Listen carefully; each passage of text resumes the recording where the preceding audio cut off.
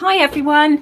Um, today's art journal prompt, this is week four. Um, today's prompt is life is. So whatever your take is on life is. Um, and if you put inspirational quotes um, and then in inverted commas, life is into a Google search, loads and loads and loads of ideas um, will come up for you. Um, I've decided to use this image here. This um, Earlier on this week, I was finishing off um, the first stage of my art journal prompts junk journal, where I'm taking magazines, various magazines apart to store the images to to use, not just for art journal prompts, but for, you know, doing ATCs and, and that kind of thing. It's just, I find that when all of the images are in a magazine, um, because I've got so many of them, I, I don't end up using them. It's just too um, overwhelming to sort of search through a whole stack of, of magazines when I'm looking for ideas. So I've decided this year um, that I'm going to go through my magazines one by one and, and take out all the images that um, that I feel that I can use um, for for my art. And um, this week I've decided to use this one. And my life is quote is going to be life is about using the whole box of crayons, which I thought was just absolutely perfect um, for for this page.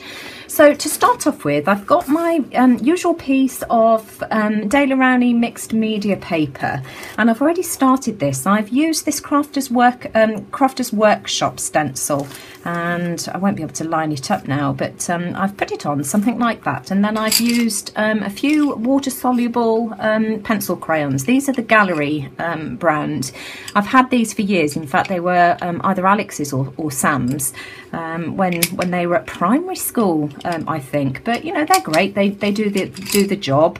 Um, but what I want to do now is go and grab um, a water um, brush and just di dilute these to sort of make the um, colour stronger because I'm going to use this to form part of my background and then I'm going to glue um, the pencil sharpening page out of the um, Daphne's Diary magazine on something like that. Right, I've got my water brush and as I say, I'm just going to go over um, the pencil just to activate it just just like this. And I'm just showing you the first one um, just so that you can see how it works. But it just changes the the vibrancy um, of the the pencil crayon. So I'm going to do this with all of the colours. Right so that's what I've got and I really like um, the kind of watery colouriness of, of that. And then I'm tearing um, the top of um,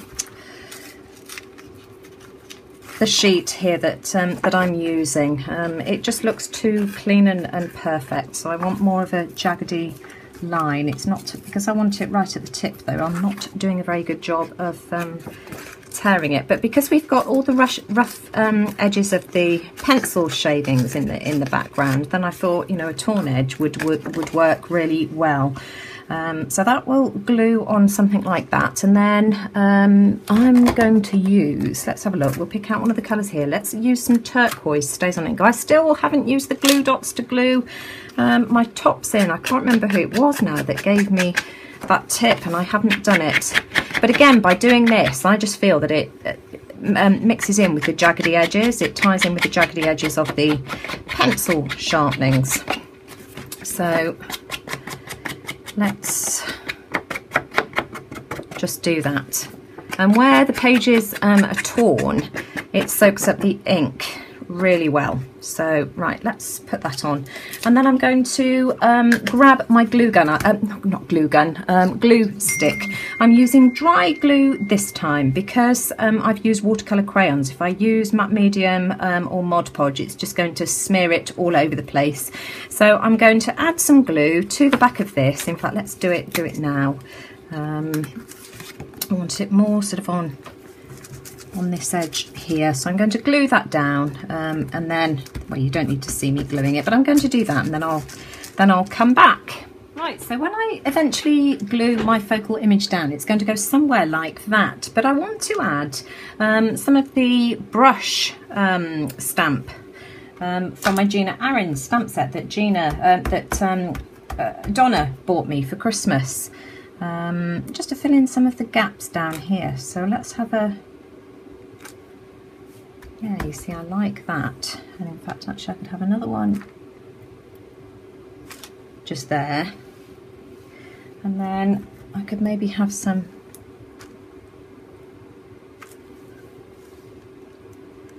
like this too. Um,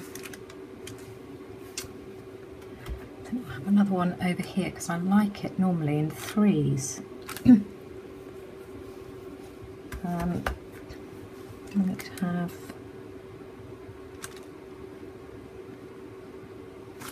yes I like that. So um, let's let that dry and then I've got to decide what I what I want to do next. Now I'm trying to work out how I can blend this line together. Of course I've had to do something here um, because my piece um, of pencil sharpening page was too short for my journal page. So what I'm going to do is I've grabbed some modelling paste. So I'm just going to put um, a little bit just, in fact, that's probably too much. There we go, that should do it. Um, on my piece of parchment paper here. And then I've got some of the Daler-Rowney, um, I never know how to pronounce this, Corallium Hue. And so I'm just going to, oh, got a great big um, ring around that. So I'm just going to pour a little bit into the modelling paste and then I'm going to work that in so that now my modelling paste is a lovely bright blue. There we are. And then what shall I do first? I'm just going to add um, just a little bit of the modelling paste here. This is the Tim Holtz um, stencil. Um, I'm not sure what this is called actually. I'll have a look in a minute for you. Where's the packet that it was it was in. I'll find it in a second. There we go, so I like that. Um, let me just wipe this a second. In fact, I'm going to do it just on my page below. When you're using modelling paste or gesso or anything like that, make sure that you wipe your stencils straight away because you'll just ruin them if you if you don't. The gesso and modelling paste will just clog up the stencil. I shall take this to the sink in a second. Let me just tell you what schoolhouse layering stencil. There we are. And then I want a little bit more. Um, let's have a look. Just down here as well. So let's pick up some more.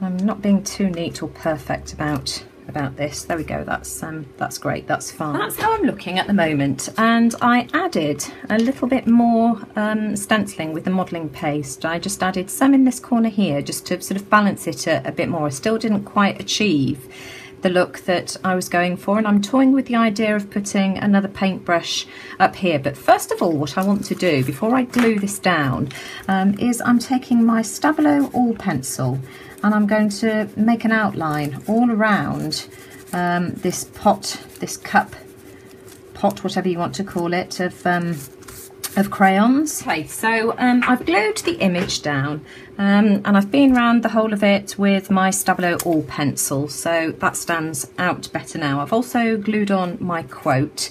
Um, I am going to add another paintbrush in the top right hand corner, so I'm just inking up my stamp pad now. So let's just add that. I just feel it needs something um, up there. So that's that done. And then to add some more texture and to solve the problem of the fact that the pot um, of crayons is floating in thin air, I am going to add some, if I can work out how to get the lid off that is, this is my pencil sharpen. Oh, it would help if I Right, this is going to make a humdinger of a mess. Let's see how I can... Oh, here we go. Needed emptying anyway. There we are. Right, okay, so let's screw the lid back on, on that. So that's ready for another time.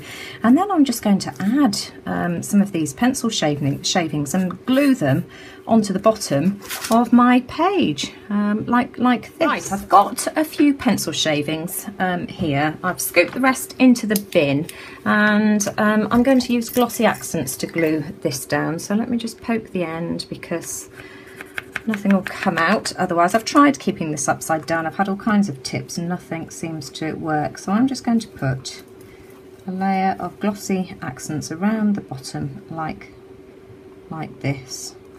And let's glue some pencil shavings on in a few random places. This will dry clear, so it's sort of ideal to use. Right, this is how I'm looking and um, I went and grabbed um, a smaller pencil sharpener. What have I just done with it? Um, here we go, this one here, and my tin of crayons, and I sort of had a look at the ones that um, that needed sharpening, and I did a few of the longer pieces of pencil sharpening, and then I've got a few bits and pieces um, here. So what I am going to do, I've done it on this side um, already, is I've put a little bit of um, glossy accents. Can you see what I'm doing? Yes, you can. And then let me just move that up slightly. Um, oh, I've just grabbed my, put my finger in the paint. And then I'm just dipping it into um, the little tiny bits of uh, pencil sharpenings there. So I think that looks really cool. Let's try and get some on the on the end. It's just easier to, to dip it in. Right, I'm happy with that. And then I've put some blue paint out on my parchment paper. Look at the state of me, I'm covered. Um, in paint and ink again and then what I'm going to do this time for my border I'm going to go around the outside with the same blue paint that I've used for my um, modelling paste so I'm just going to go around the edge um, like, like this. This sort of gives a nice raised bumpy texture as well, which I really like. So I'm going to continue going around this and then I'm pretty much this is such a fun page. It's bright, it's colourful. I'm very happy um, with, with that. Um, and if I hadn't have gone through the exercise of searching through the Daphne's Diary magazine this week, um, then this would still be sat on a pile with the other magazines be behind me. Um, for those of you who don't know, I've um, started a, a, little series. Um, there's no regularity to it. It's just, just as and when I find the time to do it. but I'm creating a junk journal um, mainly for the Art Journal Prompts group. Um, this is it. It's not decorated yet. In fact, let me just move that one out of the way because it's probably um, you can't see it but I've been going through magazines. This um, week I went through Daphne's diary and I've just been taking out um, the images from um, the magazines to be able to use in my journal pages because I don't know about anybody else but I find that um, if all the images stay in the magazine I've got so many of them it's too overwhelming to sort of you know dig through it when I'm trying to, to find something. So I've just cut looked through it and taken out the images that I think I might be able to use in future journal pages and the box of um, the, the cup of crayons was um, the one that I decided to use for, for this week. So if you're interested in doing something similar, I'll leave the link to the videos um, in the description box below. Um, so that's it for this week, week four. The prompt is life is, and I look forward to seeing what you do with this particular prompt. And if you like what I did, please give me a thumbs up and let me know what you think in the comments below. And take care, everyone. I'll see you all again soon. Bye for now.